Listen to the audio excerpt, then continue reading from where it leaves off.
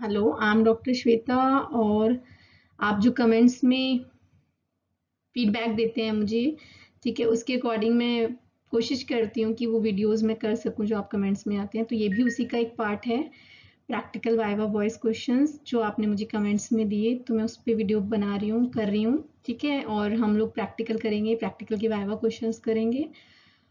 अगर ये प्रैक्टिकल करना नहीं आता है तो डिस्क्रिप्शन बॉक्स में आपका लिंक है, आप ये प्रैक्टिकल परफॉर्म करना शुरू कर सकते हैं। अगर से कोई रिलेटेड थ्योरी के मेरे कुछ अगर वीडियोस हैं, उसका भी डिस्क्रिप्शन बॉक्स में लिंक होगा ज़रूर, ठीक है? तो आप वहाँ से उसकी थ्योरी देख सकते हैं। और आज हम स्टार्ट करते हैं इस सीरीज़ को प्रैक्टिकल बाइबा वॉइस क्वेश्चंस और शेयर भी करिए सब्सक्राइब भी करिए फ्रेंड्स को भी शेयर करिए, ठीक है? चलिए स्टार्ट करते हैं। तो फिजिक्स प्रैक्टिकल नेम्स यहाँ पे थ्री प्रैक्टिकल्स के नेम लिखे हैं फ़िलहाल स्लाइड पे। ऐसे ही नेक्स्ट स्लाइड्स हैं जो अभी तो नहीं शो कर रही हूँ। उन पे भी ऐसे प्रैक्टिकल के नेम्स होंगे जो जिनके हमें वाइवा डिस्कस करने हैं वाइवा वॉइस क्वेश्चन तो फ़िलहाल diffraction grating Newton's ring polarimeter इन तीन की तो मैं अभी फ़िलहाल जल्दी जल्दी वीडियोस देने वाली हूँ। ऐसे ही आगे कोशिश करेंगे कि डेली एक आपको वीडियो मिल जाए। ठीक है तो आज हम करने वाले हैं डिफ्रेक्शन ग्रेटिंग तो diffraction grating practical viva question answer viva wise तो पहला क्वेश्चन है व्हाट इज़ डिफ्रैक्शन तो डिफ्रैक्शन क्या है? थ्योरी में भी समझाया था, जब प्रैक्टिकल करा था तब भी समझाया था कि बैंडिंग ऑफ़ लाइट को हम डिफ्रैक्शन कहते हैं कि अगर लाइट के, जैसे हम जानते हैं लाइट जो है स्ट्रेट पाथ में मूव करती है और अगर उसके बीच में कोई ऑब्स्टिकल आ जाए तो वो उस ऑब्स्टिकल के एज से बैंड हो जाती है और उसके ज्योमेट्रिकल शेडो में एंटर कर जाती है तो this process is known as diffraction तो देख लेते हैं डेफिनेशन में हम कैसे लिख सकते हैं या बोल सकते हैं the phenomenon of bending of light wave around the edge of an obstacle and their spreading into a geometrical shadow of an obstacle is called diffraction of light. Next question, mention the two type of diffraction. तो दो तरीके के डिफ्रेक्शंस होते हैं ये भी मैंने बताया था। एक फ्रेजनल डिफ्रेक्शन होता है एक फॉनहोफर डिफ्रेक्शन होता है। और दोनों में आपको डिफरेंस भी बताया था अगर पूछने लगे एग्जामिनर कि इन दोनों में क्या डिफरेंस है तो बताया था मैंने आपको कि फॉनहोफर डिफ्रेक्शन में जो क्या पहले हमें क्या क्या चाहिए? आ, तो यहाँ पे मैं आपको एक छोटी सी इमेज बना देती हूँ। क्या चाहिए? एक सोर्स चाहिए आपको एक ऑब्स्टिकल चाहिए जहाँ से लाइट डिफ्रैक्ट हो रही है डिफ्रैक्टिंग डिवाइस चाहिए और एक स्क्रीन चाहिए आपकी। तो इन दोनों में क्या क्या डिफरेंस होगा फॉन ऑफ़र डिफ्रैक्शन में क्या होता है? ये जो बीच की डिस्टेंस है, ये इनफाइनाइट होती है ऑब्स्टिकल और सोर्स और ऑब्स्टिकल और स्क्रीन के बीच की डिस्टेंस जबकि फ्रेजनल में फाइनाइट डिस्टेंस होती है।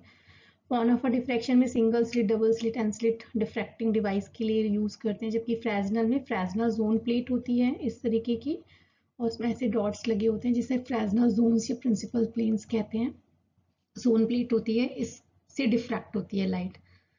फॉन ऑफ़ डिफ्रैक्शन में सेंट्रल मैक्सिमा हमेशा मैक्सिमा होगा, सेंट्रल में प्रिंसिपल मैक्सिमा मिलेगा, जबकि फ्रेजनल डिफ्रैक्शन में ये मैक्सिमा भी हो सकता है, मिनिमा भी हो सकता है, depending on Fresnel zone plate, कितनी जोन प्लेट्स हैं।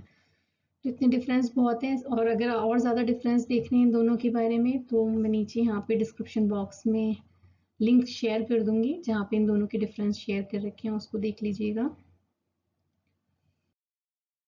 नेक्स्ट क्वेश्चन है what is deflection grating It is an optically flat glass plate on which large number of equidistant plane lines are ruled by fine diamond plane, pen और head.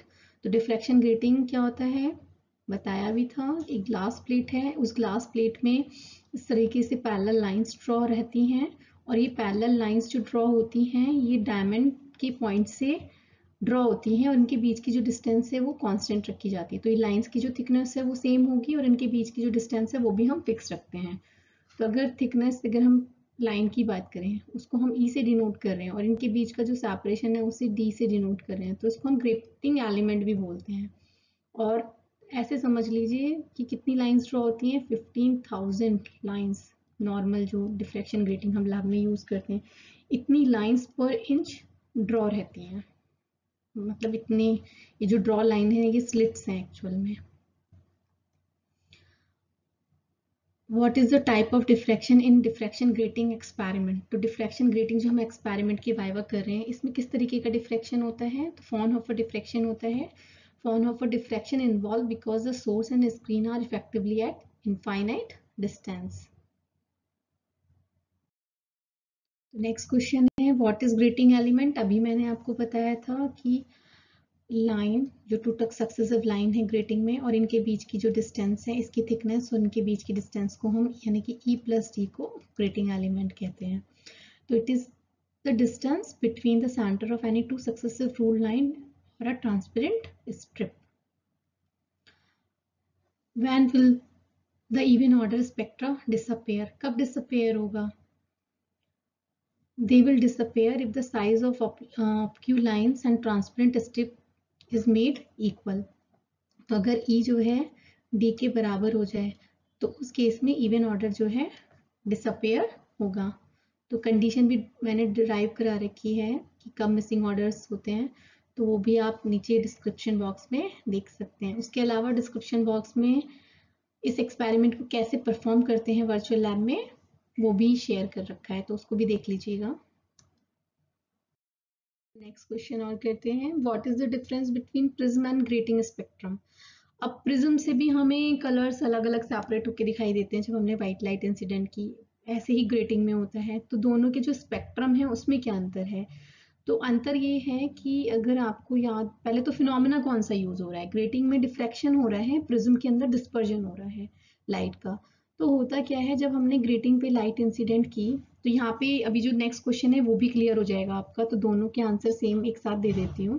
तो जो maxima की condition है, वो है E plus T sine theta equal to N lambda ये diffraction में maxima की कंडीशन है। तो साइन थीटा जो है N lambda upon E plus D के इक्वल होता है। अब ई प्लस डी तो ग्रेटिंग के लिए, जो भी हमने ग्रेटिंग चूज़ की, उसके लिए फिक्स हो गया। अब जो थीटा है, वो डिपेंड करता है ऑर्डर पे और लामडा पे। अब ज़ीरो ऑर्डर में भी एन इक्वल टू जैसे ज़ीरो रखेंगे साइन थीटा ज़ीरो हो जाएगा, थीटा ज़ीरो हो जाएगा। तो मतलब ज़ीरो ऑर्डर यानी कि अगर हम सामने से लाइट को ऑब्ज़र्व कर रहे हैं तो हमें व्हाइट लाइट दिखती है। ज़ीरो ऑर्डर पे सारी लाइट हमें एक ही जगह दिखती है, वो लैम्डा पे डिपेंड नहीं करता। लेकिन जैसे ही हम फ़र्स्ट ऑर्डर के लिए देखते हैं एन इक्वल टू वन के लिए तो थीटा जो है लैम्डा पे डिपेंड करता है। तो जैसे जैसे लैम्डा चेंज होगा व्हाइट लाइट क्या है? Colour combination of all colours light की कॉम्बिनेशन से बना है। तो जैसे जैसे लैम्डा चेंज होगा वैसे वैसे थीटा चेंज होगा। सबसे कम जो लैम्डा होती है वेवलेंथ होती है वॉयलेट कलर की होती है। तो थीटा सबसे कम वॉयलेट कलर का होगा। सबसे ज़्यादा जो लैम्डा है, वो रेड कलर का है। तो रेड कलर सबसे लास्ट में दिखेगा, यानी थीटा रेड सबसे ज़्यादा होगा। ये फ़र्स्ट ऑर्डर है जैसा ये लेफ़्ट साइड में स्पेक्ट्रम दिख रहा है ऐसा ही आपको राइट right साइड में स्पेक्ट्रम दिखेगा। ये फ़र्स्ट ऑर्डर के लिए है ऐसा ही आपको सेकेंड ऑर्डर के लिए दिखेगा। जबकि ग्रेटिंग में क्या होता है ग्रेटिंग में सॉरी uh, ग्रेटिंग में ये होता है जबकि प्रिज्म में क्या होता है प्रिज्म में इसका रिवर्स्ड होता है।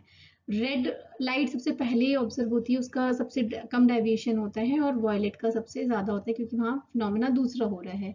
In grating spectrum violet color is least deviated and red color is most deviated but in prism it reverse is true और सेम ये नेक्स्ट क्वेश्चन इसके कंटिन्यूशन में है why does red color deviate the most in the case of grating तो मैंने अभी समझा दिया क्योंकि जो थीटा है वो आपका लैम्डा पे डिपेंड करता है this is because in the case of grating sine theta equal to N lambda upon E plus T the angle of diffraction is proportional to the wavelength and wavelength of red is maximum चलिए तो next question करते हैं।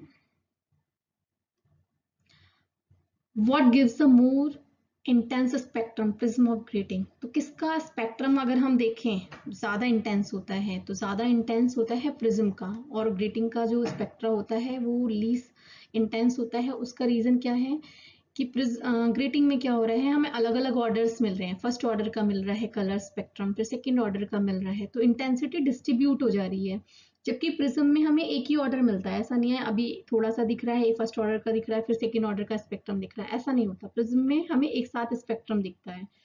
तो prism का जो spectrum है dispersion की वजह से वो ज़्यादा इंटेंस होता है इन कंपैरिजन टू ग्रेटिंग तो लैंग्वेज पढ़ लेते हैं। Prism give more intense spectrum because in prism entire light is concentrated into one spectrum while in the case of grating light is distributed in a grating spectrum of different orders तो अलग अलग order में distribute हो जाती है colour next question है Define dispersion of light. The process of splitting of white light into consistent color is called dispersion of light.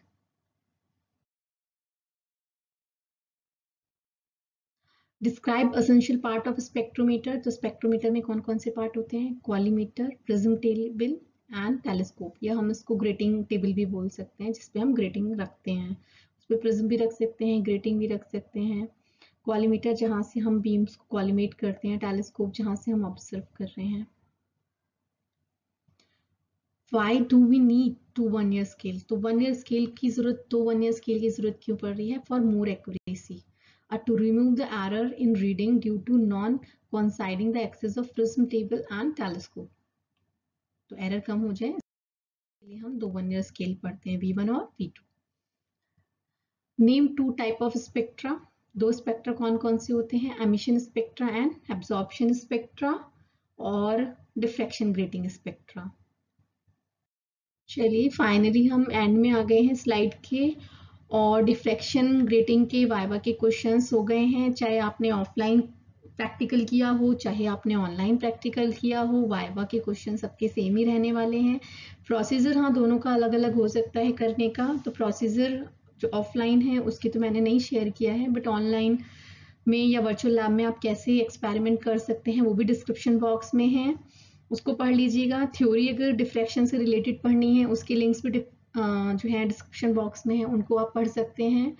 कोई doubt है, कुछ पूछना है तो प्लीज़ कमेंट सेक्शन में उसको पोस्ट करिए और जितना जल्दी पॉसिबल होगा उसको आंसर करने की कोशिश करेंगे, ठीक है? और सब्सक्राइब करिए शेयर करिए अपने फ्रेंड्स को, खुद नहीं पढ़िए, साथ में फ्रेंड्स को भी पढ़ाइए, ठीक है? Best of luck